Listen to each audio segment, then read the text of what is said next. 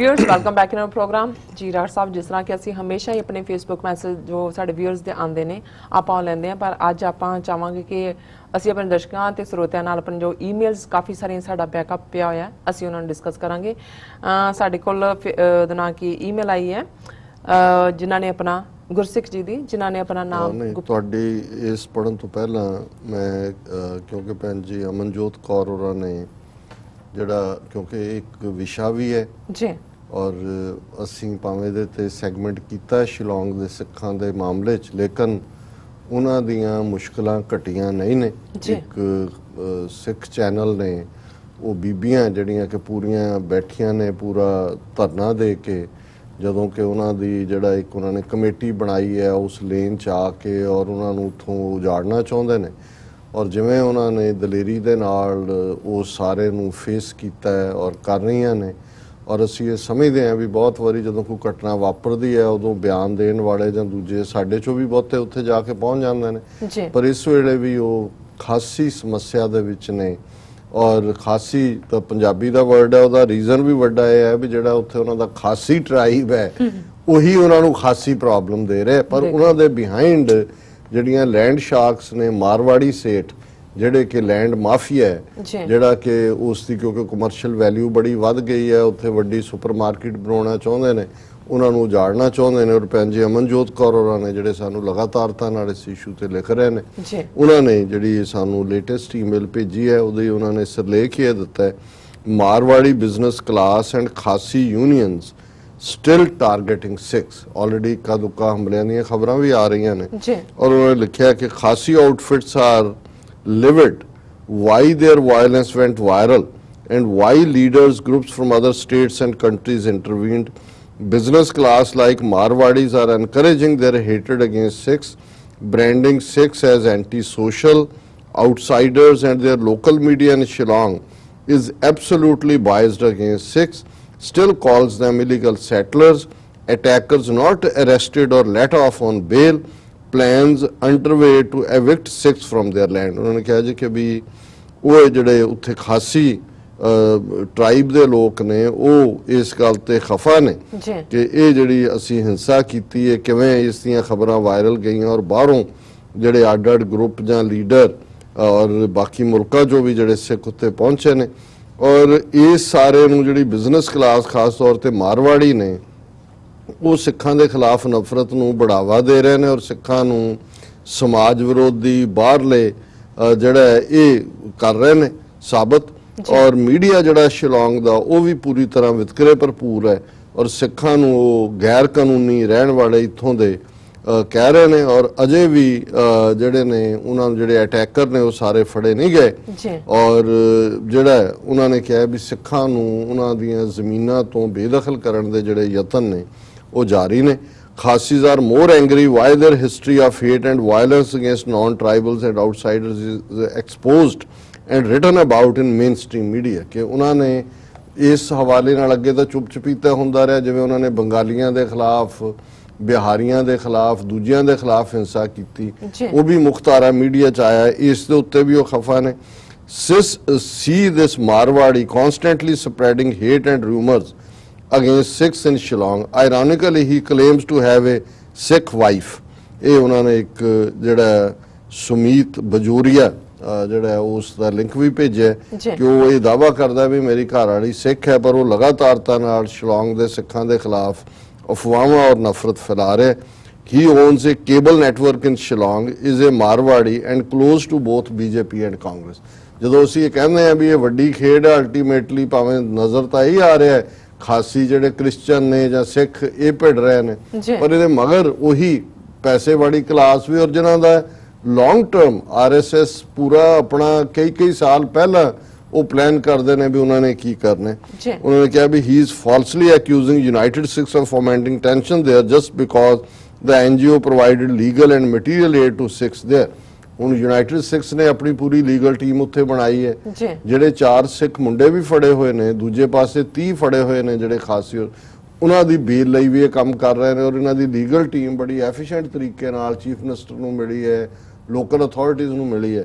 ਔਰ ਇਹ ਜਿਹੜਾ ਮਿਸਟਰ ਸੁਮੀਤ ਬਜੂਰੀਆ ਮਾਰਵਾੜੀ ਇਹ ਉਹਨਾਂ ਦੇ ਖਿਲਾਫ ਵੀ ਜਿਹੜਾ ਪ੍ਰਚਾਰ ਕਰ ਰਹੇ ਕਿ ਵੀ ਇਹ ਕਿਉਂ I am told Khasis do not do business and business is in hands of Marwadis who first grab lands of others, establish own business and then give monthly revenue or share to Khasis. ਉਹੀ ਜਿਵੇਂ ਬੰਬਈ ਦੇ ਵਿੱਚ ਵੀ ਜਿਹੜੇ ਬਹੁਤੇ Mumbai Gujarati on ਕਰਦੇ ਨੇ businesses ਉਹਨੇ ਜਿਹੜੇ ਉੱਥੇ ਗਰੀਬ ਸ਼ਿਵ ਸੈਨਿਕ ਜਾਂ ਮਰਾਠੇ ਨੇ ਉਹਨਾਂ ਨੂੰ ਹਿੱਸਾ ਪੱਤਾ ਦੇ ਦਿੰਦੇ ਨੇ ਮਹੀਨਾ।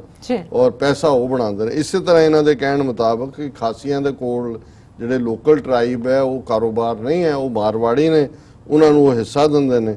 They earlier incited violence and took over land and business of business of Nepalis Bengalis Assamese Silhatis, Sindhis, and are now after six as they want to grab that land and eliminate all competition in business. They even get a militant outfit, outfit to threaten to bomb six.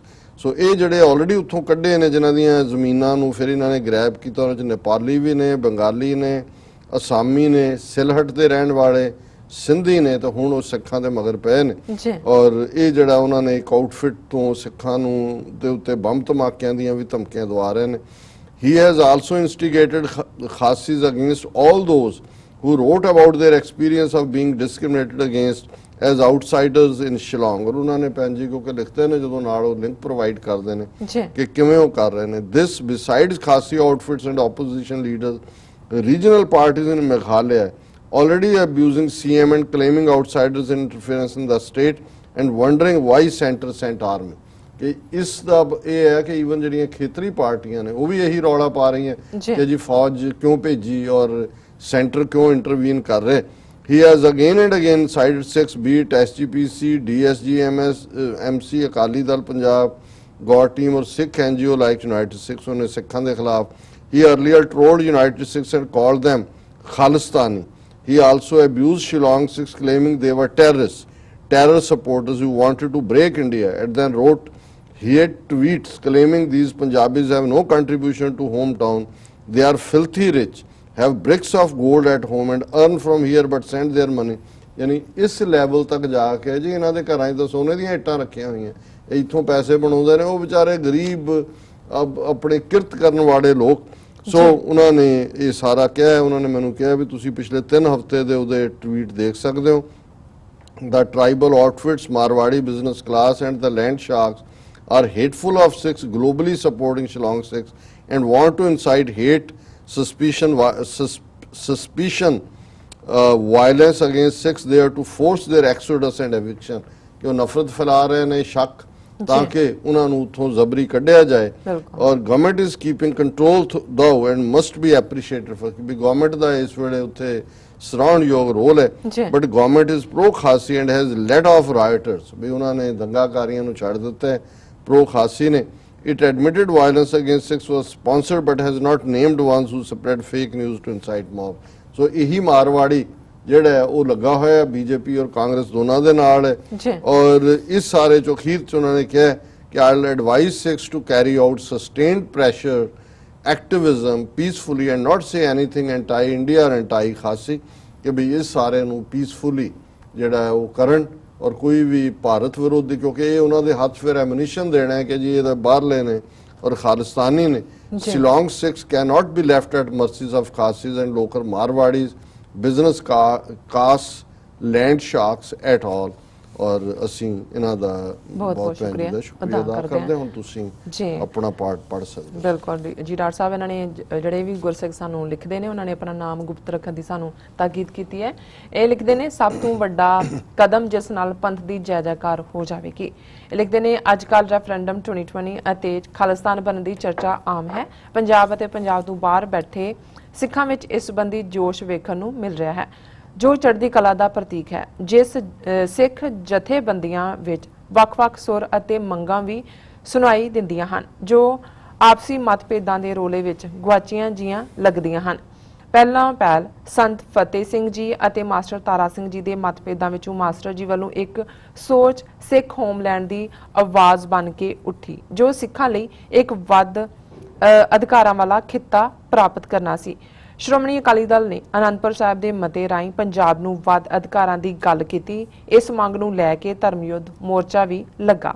ਇੱਥੋਂ ਜ਼ਿਕਰਯੋਗ ਹੈ ਕਿ ਜਗਜੀਤ ਸਿੰਘ ਚੌਹਾਨ ਨੇ ਖਾਲਸਾ ਦੀ ਸਪਸ਼ਟ ਮੰਗ ਦੁਹਰਾਈ ਅਤੇ ਕਈ ਸਾਲ ਵਿਦੇਸ਼ਾਂ ਵਿੱਚ ਜਲਾਵਤਨੀ ਵੀ ਕੱਟੀ। ਇਸ ਮੰਗ ਦੇ ਸਮਰਥਨ ਅਤੇ ਵਿਰੋਧ ਦੀ, ਵਿਰੋਧ ਵੀ ਬਿਆਨ ਸੁਣਾਈ ਦਿੰਦੇ ਰਹੇ। ਇਸ ਦੌਰਾਨ ਪੰਜਾਬ ਵਿੱਚੋਂ ਖਾਲਿਸਤਾਨ ਦੀ ਮੰਗ ਨੂੰ ਲੈ ਕੇ ਪਿੰਡਾਂ ਦੀਆਂ ਸੱਥਾਂ ਤੇ ਵੀ ਬਹਿਸ ਹੁੰਦੀ ਰਹੀ। ਧਰਮਯੁੱਧ ਮੋਰਚੇ ਦੌਰਾਨ ਭਾਰਤੀ ਫੌਜ ਵੱਲੋਂ ਸ੍ਰੀ ਹਰਮੰਦਰ ਸਾਹਿਬ ਤੇ ਹਮਲਾ ਹੋਣ ਤੋਂ ਬਾਅਦ ਸੰਤ ਜਰਨੈਲ ਸਿੰਘ ਜੀ ਖਾਲਸਾ ਪਿੰਡਰਾਂ ਵਾਲਿਆਂ ਵੱਲੋਂ ਖਾਲਸਾ ਦੀ ਸਥਾਪਨਾ ਦਾ ਐਲਾਨ ਕਰ ਦਿੱਤਾ ਗਿਆ। ਪਰ ਸੰਤ ਜੀ, ਆਪ ਉਹਨਾਂ ਦੇ ਸਾਥੀ ਖਾੜਕੂ ਭਾਈ ਸੁਬੇਗ ਸਿੰਘ ਭਾਈ ਅਮਰੀਕ ਸਿੰਘ, ਭਾਈ ਆਈ ਥਿੰਕ ਜੰਗ ਸਿੰਘ। ਹਾਂਜੀ। ਭਾਈ ਅਮਰੀਕ ਸਿੰਘ ਭਾਈ ਠਾਰਾ ਸਿੰਘ ਹੋਣ। 18 ਹਾਂਜੀ 18 ਸਿੰਘ ਅਤੇ ਹੋਰ ਸੈਂਕੜੇ ਸਿੰਘ ਸਿੰਘ ਸ਼ਹੀਦੀਆਂ ਪ੍ਰਾਪਤ ਕਰ ਗਏ। ਇਸ ਪਿੱਛੋਂ ਸਰਦਾਰ ਸਿਮਰਨਜੀਤ ਸਮਾਨ ਮਾਨ ਜੀ ਨੇ ਖਾਲਸਾ ਦੀ ਮੰਗ ਨੂੰ ਸ਼ਰੇਆਮ ਪ੍ਰਚਾਰਿਆ। ਇਸ ਤੋਂ ਭਾਵਵਾਦ ਅਧਿਕਾਰਾਂ ਵਾਲਾ ਇੱਕ ਖਿੱਤਾ ਹੈ ਜੋ ਆਨੰਦਪੁਰ ਸਾਹਿਬ ਦੇ ਮਤੇ ਦੀ ਪ੍ਰੋੜਤਾ ਕਰਦਾ ਹੈ। ਸਿੱਖ ਫੋਰ ਜਸਟਿਸ ਨੇ ਵੀ ਖਾਲਸਾ ਦੀ ਮੰਗ ਕਰਨ ਦੇ ਨਾਲ ਨਾਲ ਇਸ ਦੀਆਂ ਹੱਦਾਂ ਤੇ ਅਧਿਕਾਰ ਇੱਕ ਆਜ਼ਾਦ ਦੇਸ਼ ਦੀ ਤਰ੍ਹਾਂ ਹੀ ਸਪਸ਼ਟ ਕੀਤੇ ਹਨ।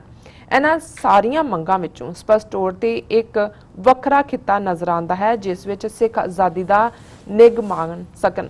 ਇਹ ਇੱਕ ਜਾਇਜ਼ ਅਤੇ ਸਿੱਖ ਜਗਤ ਦੀ ਸਰਬ ਸਵੀਕਾਰਤਾ ਮੰਗ ਹੈ, ਜਿਸ ਦਾ ਭਰੋਸਾ ਆਜ਼ਾਦੀ ਤੋਂ ਪਹਿਲਾਂ ਕਾਂਗਰਸ ਦੇ ਮੋਢੀ ਨੇਤਾਵਾਂ ਨੇ ਵੀ ਦਿੱਤਾ ਸੀ। ਜੇਕਰ ਉਪਰੋਕਤ ਮੰਗਾਂ ਵਿੱਚ ਸਮਾਨਤਾ ਹੈ, ਤਾਂ ਸਿੱਖ ਨੇਤਾਵਾਂ ਵਿੱਚ ਮਤਭੇਦ ਕਿਉਂ, ਏਕਤਾ ਕਿਉਂ ਨਹੀਂ?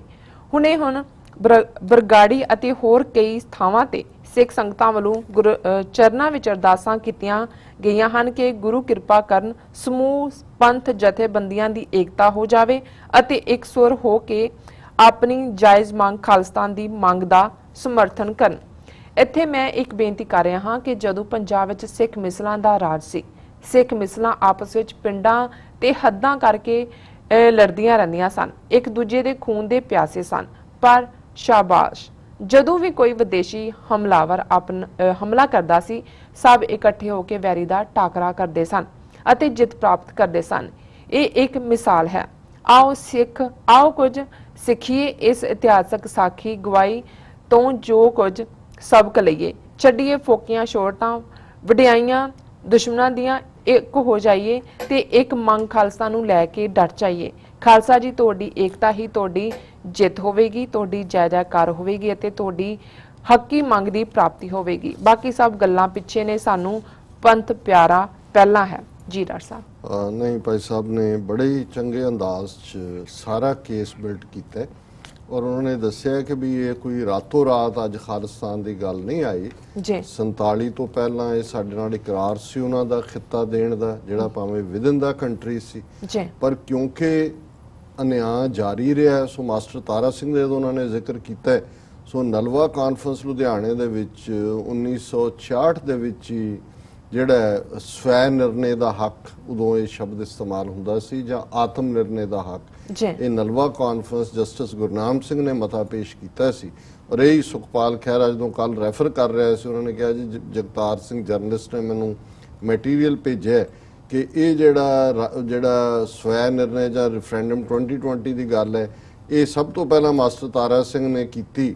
ਉਹਨਾਂ ਨੇ ਹਾਲਾ ਸ਼ਬਦ ਤਾਂ ਨਹੀਂ ਕਿਹਾ ਵੀ ਕਿ ਪਰ ਇਹ ਜਿਹੜਾ ਨਲਵਾ ਕਾਨਫਰੰਸ ਲੁਧਿਆਣੇ ਦੇ ਵਿੱਚ 1966 'ਚ ਇਹ ਉਹ ਪੀਰੀਅਡ ਸੀ ਜਦੋਂ ਸੰਤ ਫਤਿਹ ਸਿੰਘ ਅਕਾਲੀ ਦਲ ਡੋਮੀਨੇਟ ਕਰਦਾ ਸੀ। ਉਹਨਾਂ ਨੇ ਕਿਹਾ ਸੀ ਜੇ ਪੰਜਾਬੀ ਸੂਬਾ ਬਣਨ ਨਾਲ ਸਾਡਾ ਐਸਪੀਰੇਸ਼ਨ ਪੂਰੀ ਹੋ ਗਈ ਉਹਨੂੰ ਮੁਕੰਮਲ ਕੀਤਾ ਜਾਏਗਾ।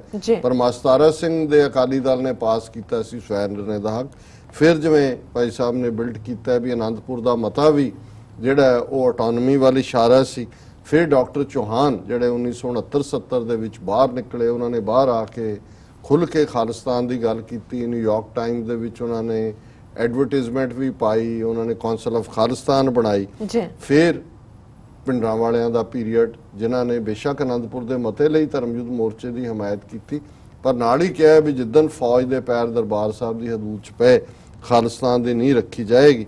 ਫਿਰ ਜਿਵੇਂ ਭਾਈ ਸਾਹਿਬ ਨੇ ਜ਼ਿਕਰ ਕੀਤਾ ਸਰ ਸਿਮਰਨਜੀਤ ਸਿੰਘ ਮਾਨ ਜਿਹੜੇ ਕਿ ਕੰਸਿਸਟੈਂਟਲੀ ਖਾਲਿਸਤਾਨ ਦੇ ਮੁੱਦੇ ਤੇ ਲੋਕਤੰਤਰੀ ਤਰੀਕੇ ਨਾਲ ਜਮਹੂਰੀ ਤਰੀਕੇ ਨਾਲ। ਲੜ ਰਹੇ ਨੇ ਸਿੱਖ ਫॉर ਜਸਟਿਸ ਦਾ ਇਹਨਾਂ ਨੇ ਜ਼ਿਕਰ ਕੀਤਾ ਵੀ ਰੈਫਰੈਂਡਮ 2020 ਦੀ ਗੱਲ ਅੱਜ ਘਰ ਦੇ ਵਿੱਚ ਬਾਹਰ ਹਰ ਪਾਸੇ ਜਿਹੜੀ ਆ ਹੋ ਰਹੀ ਹੋ। ਔਰ ਉਹਨਾਂ ਨੇ ਕਿਹਾ ਵੀ ਅਲਟੀਮੇਟਲੀ ਜਿਵੇਂ ਉਹਨਾਂ ਨੇ 18ਵੀਂ ਸਦੀ ਦਾ ਹਵਾਲਾ ਦਿੱਤਾ ਕਿ ਮਿਸਲਾਂ ਵਾਲੇ ਭਾਵੇਂ ਆਪਸ ਲੜਦੇ ਵੀ ਸੀ ਪਰ ਜਦੋਂ ਦੁਸ਼ਮਣ ਆਂਦਾ। ਸੀ ਤੇ ਸਾਰੇ ਇਕੱਠੇ ਹੋ ਜਾਂਦੇ ਸੀ। ਉਹਨਾਂ ਕਿਹਾ ਵੀ ਜਿਵੇਂ ਬਰਗਾੜੀ ਦੇ ਮੁਕਾਮ ਤੇ ਵੀ ਜਿੱਥੇ ਗੁਰੂ ਗ੍ਰੰਥ ਸਾਹਿਬ ਦੀ ਬੇਅਦਬੀ ਦੀ ਘਟਨਾ ਤਿੰਨ ਸਾਲ ਪਹਿਲਾਂ ਹੋਈ। ਇਹ ਅਰਦਾਸ ਹੋਈ ਹੈ ਕਿ ਭਾਈ ਪੰਥਕ ਏਕਤਾ ਹੋਏ ਔਰ ਇਹੀ ਉਹਨਾਂ ਨੇ ਅਖੀਰ ਦੇ ਵਿੱਚ ਇਹ ਦੁਹਾਈ ਦਿੱਤੀ ਹੈ ਕਿ ਭਾਈ ਇਕੱਠੇ ਹੋ ਜਾਓ। ਔਰ ਅਸੀਂ ਇਸ ਸਿੱਟੇ ਤੇ ਹੀ ਪਹੁੰਚਦੇ ਆ ਇਹਨਾਂ ਨੇ ਕਿਹਾ ਵੀ ਹੁਣ ਇੱਕ ਆਜ਼ਾਦ ਦੇਸ਼ ਜਿਹੜਾ ਹੈ ਉਸ ਤੋਂ ਬਿਨਾ ਸਿੱਖਾਂ ਦਾ ਜਿਹੜਾ ਉਹ ਕੋਲ ਕੋਈ ਚੋਇਸ ਨਹੀਂ। ਜੀ ਸਾਹਿਬ ਹੁਣ ਤੁਸੀਂ ਸਾਡੇ ਦਰਸ਼ਕਾਂ ਦੱਸ ਅੱਜ ਦਾ ਵਿਚਾਰ। ਜਿਵੇਂ ਅਸੀਂ ਸ਼ੁੱਕਰਵਾਰ ਦੇ ਪ੍ਰੋਗਰਾਮ 'ਚ ਸ਼ਲੋਕ ਵਾਰਾਂ ਤੇ ਵਧੇਕ ਜੀ। ਜਿਹੜੇ ਦਰਜ ਨੇ ਉਹਨਾਂ ਨੂੰ ਵਿਚਾਰ ਵਿੱਚ ਲਿਆਂਦੇ ਆ ਤਿੰਨ ਸ਼ਲੋਕ ਅੱਜ ਦੀ ਵਿਚਾਰ ਲਈ 19 20 21 ਜੀ। ਅਸੀਂ ਚੁਣੇ ਨੇ। ਪਹਿਲਾ ਸ਼ਲੋਕ ਹੈ ਸਭਨੀ ਘਟੀ ਸ਼ੌ ਵਸੈ ਸੈ ਸ਼ੌ ਬਿਨ ਘਟ ਨਾ ਕੋਏ ਨਾਨਕ ਤੇ ਸੁਹਾਗਣੀ ਜਿਨ੍ਹਾਂ ਗੁਰਮੁਖ ਪ੍ਰਗਟ ਹੋਏ। ਜੀ। ਘਟ ਸਰੀਰ ਨੂੰ ਕਹਿੰਦੇ ਨੇ। ਕਿ ਸਾਰੇ ਸਰੀਰਾਂ ਦੇ ਵਿੱਚ ਸ਼ੌ ਵਸਦਾ ਹੈ ਪਿਆਰਾ ਵਸਦਾ ਹੈ ਪਤੀ ਵਸਦਾ ਹੈ ਨਿਰੰਕਾਰ ਵਸਦਾ ਹੈ। ਸ਼ਾਹ ਬਿਨ ਘਟ ਨਾ ਹੋਏ। ਉਹ ਸਰੀਰ ਨਹੀਂ ਹੈ ਜਦੋਂ ਅਸੀਂ ਕਹਿੰਦੇ ਹਾਂ ਕਿ ਭਾਈ ਹਰ ਇੱਕ ਦੇ ਵਿੱਚ ਉਹ ਨਿਰੰਕਾਰ ਰਵਿਆ ਹੋਇਆ ਹੈ ਘਟ ਘਟ ਮੇ ਹਰ ਜੂ ਬਸੇ ਸੰਤਨ ਕਿਹੋ ਪੁਕਾਰ। ਜੀ। ਕਿ ਹਰ ਇੱਕ ਦੇ ਵਿੱਚ ਵਸਦਾ ਹੈ। ਕੋਈ ਐਸਾ ਸਰੀਰ ਨਹੀਂ ਜਿਹਦੇ ਚ ਰੱਬ ਦੀ ਹੋਂਦ ਨਹੀਂ ਹੈ। ਨਾਨਕ ਤੇ ਸੁਹਾਗਣੀ ਜਿਨ੍ਹਾਂ ਗੁਰਮੁਖ ਪ੍ਰਗਟ ਹੋਏ। ਹੁਣ ਸ਼ੌ ਪਤੀ ਹੈ, ਰੂਹ ਪਤਨੀ ਹੈ, ਪਰ ਜੇ ਪਛਾਣ ਹੋਏਗੀ ਤੇ ਫੇਰ ਹੀ ਪਤੀ ਦੇ ਨਾਲ ਮਿਲਾਪ ਹੋਏਗਾ। ਤੇ ਗੁਰੂ ਸਾਹਿਬ ਫਰਮਾਉਂਦੇ ਨੇ ਕਿ ਭਾਈ ਉਹ ਸੁਹਾਗਣੀਆਂ ਨੇ ਰੂਹਾਂ, ਉਹ ਅਸਲ ਚ ਜਿਨ੍ਹਾਂ ਨੇ ਆਪਣੇ ਅੰਦਰ ਉਸ ਵਾਹਿਗੁਰੂ ਨੂੰ ਜਾਣਿਆ, ਪਛਾਣਿਆ, ਪ੍ਰਗਟ ਕੀਤਾ, ਉਹੀ ਗੁਰਮੁਖ ਹੁੰਦੇ, ਬਣਦੇ ਨੇ, ਜਿਹੜੇ ਉਸ ਨੂੰ ਪਛਾਣਦੇ ਨੇ ਜੈ ਘਟ, ਜਿਨ੍ਹਾਂ ਗੁਰਮੁਖ ਪ੍ਰਗਟ ਹੋਏ। ਦੂਸਰਾ ਸ਼ਲੋਕ ਜਿਹੜਾ ਅਕਸਰ ਕੋਈ ਵੀ ਐਸਾ ਸ਼ਹੀਦੀ ਸਮਾਗਮ ਜਾਂ ਜਦੋਂ ਸਿੱਖੀ ਦੀ ਪਰਖ ਦੀ ਗੱਲ ਹੁੰਦੀ ਹੈ ਉਸ ਦੇ ਵਿੱਚ ਇਹ ਜਿਹੜਾ ਹਮੇਸ਼ਾ ਹਰ ਥਾਂ ਹੀ। ਇਸ ਦਾ ਗਾਇਨ ਕੀਤਾ ਜਾਂਦਾ ਹੈ। ਰਾਗੀਆਂ ਵੱਲੋਂ ਲੈਕਚਰਾਰਾਂ ਵੱਲੋਂ ਇਸ ਨੂੰ ਕੋਟ ਕੀਤਾ ਜਾਂਦਾ ਹੈ। ਜੋ ਤੋ ਪ੍ਰੇਮ ਖੇਲਨ ਕਾ ਚਾਓ ਸਿਰ ਤਰ ਤਲੀ ਗਲੀ ਮੇਰੀ ਆਓ। ਇਤ ਮਾਰਗ ਪੈਰ ਤਰੀਜੈ ਸਿਰ ਦੀਜੈ ਕਾਣ ਨਾ ਕੀਜੈ। ਕਿ ਜੇ ਤੈਨੂੰ ਪਿਆਰ ਦੀ ਖੇਡ ਖੇਡਣ ਦਾ ਸ਼ੌਕ ਹੈ ਤਾਂ ਸਿਰ ਨੂੰ ਤਲੀ ਤੇ ਰੱਖ ਲੈ ਤੇ ਮੇਰੀ ਗਲੀ ਵਿੱਚ ਆ ਜਾ। ਇਸ ਰਸਤੇ ਤੇ ਜਿਸ ਨੇ ਵੀ ਪੈਰ ਪਾਇਆ ਉਹਨੇ ਸਿਰ ਦੇ ਦਿੱਤਾ। ਪਰ ਉਹ ਪਿੱਛੇ ਨਹੀਂ ਹਟਿਆ ਪਿੱਠ ਨਹੀਂ ਦਿਖਾਈ। ਔਰ ਮੈਂ ਸਮਾਂ ਸੀਮਾ ਦੇਖਦੇ ਹਾਂ ਕਿਉਂਕਿ ਇਹਨੂੰ ਅਸੀਂ ਅੱਗੇ ਵੀ ਵਿਚਾਰਦੇ ਤੇ ਅਖੀਰ ਹੁਣ ਇੱਕ ਪਾਸੇ ਪ੍ਰੇਮ ਦੀ ਖੇਡ 'ਚ ਸਿਰ ਤੜੀ ਤੇ ਰੱਖ ਕੇ ਜੂਝਣ ਦੀ ਗੱਲ ਹੈ। ਤੇ ਦੂਜੀ ਕੈਟਾਗਰੀ ਦਾ ਵੀ ਨਾਲ ਹੀ ਹਵਾਲਾ। ਹੈ ਨਾਲ ਕਿਰਾੜਾ ਦੋਸਤੀ ਕੂੜੇ ਕੂੜੀ ਪਾਏ। ਮਰਨ ਨਾ ਜਾਪੈ ਮੂਲਿਆ ਆਵੇ ਕਿਤੇ ਥਾਂ। ਹੁਣ ਇੱਥੇ ਕੋਈ ਜ਼ਾਤ ਨਾਲ ਤਾਲੁਕ ਨਹੀਂ ਹੈ। ਇੱਕ ਪਾਸੇ ਪ੍ਰੇਮ ਦਾ ਖਿਡਾਰੀ ਹੈ ਜਿਹੜਾ ਸਿਰ ਤਲੀ ਤੇ ਰੱਖ ਕੇ ਮੈਦਾਨ ਦੇ ਵਿੱਚ ਨਿੱਤਰਦਾ ਸਿਰ ਦੇ ਦਿੰਦਾ ਉਹ ਕੋਈ ਝਿਜਕ ਨਹੀਂ ਦਿਖਾਉਂਦਾ। ਦੂਸਰੇ ਪਾਸੇ ਜਿਹੜਾ ਮਾਇਆ ਦੇ ਨਾਲ ਜੁੜਿਆ ਹੋਇਆ ਔਰ ਗੁਰੂ ਸਾਹਿਬ ਨੇ ਫਰਮਾਇਆ ਕਿ ਜਿਹੜੇ ਮਾਇਆ ਭਿਰਤੀ ਲੋਕ ਨੇ ਮਨ ਕਰਕੇ ਕਿਰਾੜ ਨੇ ਸਿਰਫ ਨੋਟ ਗਿਣਨ ਤੇ ਰਹਿੰਦੇ ਨੇ ਜੀ। ਉਹਨਾਂ ਦੇ ਨਾਲ ਦੋਸਤੀ ਉਹਨਾਂ ਦੀ ਸੰਗਤ ਇਵੇਂ ਹੀ ਹੈ ਕਿ ਝੂਠਿਆਂ ਦਾ ਸੰਗ ਹੈ ਤੇ ਝੂਠਿਆਂ ਦੇ ਨਾਲ ਤੁਸੀਂ ਕੀ ਹਾਸਲ ਕਰੋਗੇ ਕੂੜਾ ਕੂੜੀ ਪਾਏ ਕਿ ਪਾਇਆ ਵੀ ਤੁਹਾਡੀ ਦੋਸਤੀ ਹੋਏ ਵੀ ਫਿਰ ਵੀ ਝੂਠੀ ਹੈ ਕਿਉਂਕਿ ਉਹਨਾਂ ਦੀ ਕਿਰਾੜ ਬਿਰਤੀ ਜਿਹੜੀ ਹੈ ਉਹ ਧਨ ਦੇ ਵਿੱਚ ਹਮੇਸ਼ਾ ਹੀ ਫਸੀ ਹੋਈ ਹੈ। ਮਰਨ ਨਾ ਜਾਪੈ ਮੂਲਿਆ ਆਵੇ ਕਿਤੈ ਥਾਂ ਤੇ ਕਿਰਾੜ ਬਿਰਤੀ ਨੂੰ ਮੌਤ ਭੁੱਲੀ ਹੁੰਦੀ ਹੈ ਕਿਉਂਕਿ ਉਸ ਦਾ ਤਾਂ ਧਿਆਨ ਹੀ ਮਾਇਆ 'ਚ ਹੁੰਦਾ। ਤੇ ਫਿਰ ਇਸ ਮੌਤ ਨੇ ਆਵੇ ਕਿਤੇ ਥਾਂ ਕਿਸੇ ਥਾਂ ਤੇ ਇਸ ਮੌਤ ਨੇ ਆ ਜਾਣਾ। ਪਰ ਜੇ ਉਹ ਭੁੱਲਿਆ ਹੋਇਆ ਕਿਉਂਕਿ ਉਹ ਕਿਰਾੜ ਦੇ ਨਾਲ ਕਿਰਾੜ ਬਿਰਤੀ ਦੇ ਨਾਲ ਜੁੜਿਆ ਹੋਇਆ ਤੇ ਫਿਰ ਇਵੇਂ ਹੀ ਉਹ ਇਸ ਸੰਸਾਰ ਤੋਂ ਬਿਨਾਂ ਕੁਝ ਖੱਟਿਆਂ ਚਲਾ ਜਾਏਗਾ ਤੇ ਦੂਜੇ ਪਾਸੇ ਉਹ ਨੇ ਪ੍ਰੇਮ ਦੀ ਖੇਡ ਖੇਡਣ ਵਾਲੇ। ਜਿਹੜੇ ਹਉਮੈ ਨੂੰ ਮਾਰ ਕੇ ਸਿਰ ਨੂੰ ਤਲੀ ਤੇ ਰੱਖ ਕੇ ਮੈਦਾਨ ਦੇ ਵਿੱਚ ਉਤਰਦੇ ਨੇ ਤੇ ਇਤ ਮਾਰਗ ਪੈਰ ਧਰੀਜੈ ਸਿਰ ਦੀ ਜੈ ਕਾਨ ਕੀ ਜੈ। ਜੀ ਡਾਕਟਰ ਸਾਹਿਬ ਤੁਹਾਡਾ ਬਹੁਤ ਬਹੁਤ ਸ਼ੁਕਰੀਆ। ਤੁਸੀਂ ਅੱਜ ਦੇ ਅਹਿਮੀ ਸ਼ੋ ਤੇ ਅੱਜ ਦਾ ਵਿਚਾਰ ਸਾਡੇ ਦਰਸ਼ਕਾਂ ਨਾਲ ਸਾਂਝਾ ਕੀਤਾ। ਇਸ ਆਪਣੇ ਵਿਊਅਰਸ ਕੋਲ ਨੇ ਇਜਾਜ਼ਤ। ਵਿਊਅਰਸ ਸਾਡੇ ਪ੍ਰੋਗਰਾਮ ਦਾ ਸਮਾਂ ਇੱਥੇ ਸਮਾਪਤ ਹੁੰਦਾ। ਤੁਸੀਂ ਆਪਣੀ ਰਾਏ ਤੇ ਸੁਝਾਅ ਸਾਨੂੰ ਭੇਜਣਾ ਭੁੱਲਣਾ। ਸਾਡੇ ਇਸ ਪਤੇ ਤੇ sos@tv84.tv ਤੇ ਅਸੀਂ ਆਪਣਾ ਪ੍ਰੋਗਰਾਮ ਲੈ ਕੇ ਫਿਰ ਦੁਬਾਰਾ ਹਾਜ਼ਰ ਹੋਵਾਂਗੇ। ਤਦ ਤੱਕ ਲਈ ਮੈਨੂੰ ਤੇ ਆਪਣਾ ਸੁਣਾ ਗਿਆ ਦਿਓ। ਦੇਖਦੇ ਰਹੋ TV84 ਬੁਲਾ ਦਿਓ ਫਤਿਹ। ਵਾਹਿਗੁਰੂ ਜੀ ਕਾ ਖਾਲਸਾ। ਵਾਹਿਗੁਰੂ ਜੀ ਕੀ ਫਤਿਹ। ਵਾਹਿਗੁਰੂ ਜੀ ਕੀ ਫਤਿਹ।